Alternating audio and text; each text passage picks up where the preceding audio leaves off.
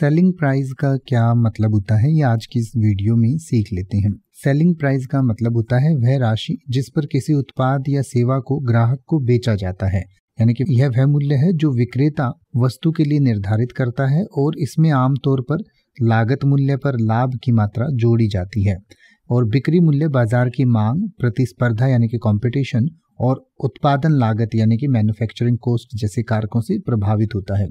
यानी कि कोई भी चीज़ जब हम किसी मूल्य पर बेचते हैं, मान लीजिए कोई चीज़ हमने सौ रुपये में बेची तो वो उसका सेलिंग प्राइस है, जिसको हिंदी में हम बिक्री मूल्य कहते हैं, और कोई भी चीज़ हमने मान लीजिए अस्सी रुपये में खरीदी है तो वो उसका हमारे लिए कॉस्ट प्राइस है, यानी उसका लागत मूल्य है। लागत मतलब जितनी हमारी लागत आई, जितना हमने पैसा लगाया, वो हमारा लागत मूल्य, यानी कि कोस्ट प्राइस और जिस प्राइस पर बेची, वो हमारा सेलिंग प्राइस होता है। यानी कि selling price is the amount of money at which a product और service is sold to the customer it is the price that the seller sets for the item and typically includes a profit margin over the cost price the selling price is influenced by factors such as market demand competition and production costs.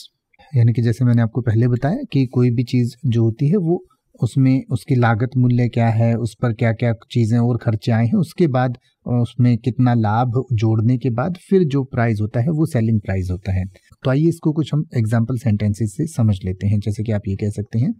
the selling price of the jacket is 120 dollars while the cost price was eighty dollar यानी कि इस jacket का जो बिक्री मूल्य है वो 120 dollar है, जबकि लागत मूल्य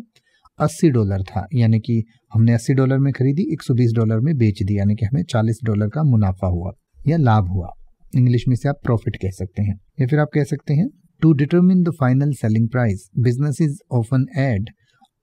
markup to the cost price यानी कि अंतिम बिक्री मूल्य निर्धारित करने के लिए व्यवसाय आमतौर पर लागत मूल्य पर एक मार्कअप जोड़ देते हैं, यानी कि एक कोस्ट और जोड़ देते हैं, जिससे उसमें लाभ प्राप्त हो।